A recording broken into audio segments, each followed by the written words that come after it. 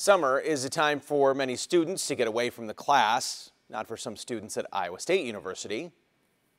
And during this program, what we, what we would like to do, we would like to give them a flair of research, how to do the research. Project all of them.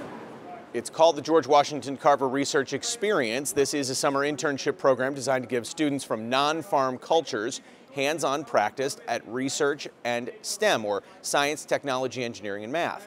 It covers a variety of fields. 22 undergraduate students and 13 high school students from all over came to Ames for the eight-week program. We want to show them that STEMs are not scary and that they can be successful at STEM fields and that it may just take a little extra work to get over the math or the science hump, but they are just as capable as any other student in being successful in STEMs. I've been learning a whole lot of genetic approaches as far as genetically modifying crops to be more sustainable and to be resistant to a lot of um, problems that plague the crops. Students will take in, uh, industry tours and learn how to diversity can work in various science workplaces.